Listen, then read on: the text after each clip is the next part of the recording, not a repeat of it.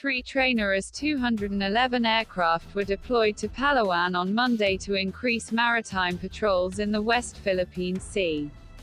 The jet trainers were expected to support the Philippine military's Western Command in its mission to protect Philippine territorial integrity in its jurisdiction, which included the West Philippine Sea.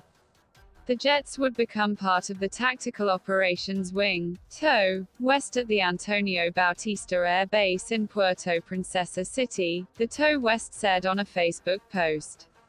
It was not immediately clear if the jets would be for additional deployment or part of rotation. On its Facebook post, the TOW West said the jets would enhance operational tempo of WESCOM in securing Philippine territory in the WPS and the Malampaya gas field off Palawan. The West Philippine Sea is site of territorial claims by China which had been insisting that virtually the entire South China Sea belonged to it. Beijing's based its claims on its mythical nine-dash line which had been rejected in 2016 by an international court in a case filed by the Philippines. Vietnam, Taiwan, Malaysia and Brunei also have claims in the area.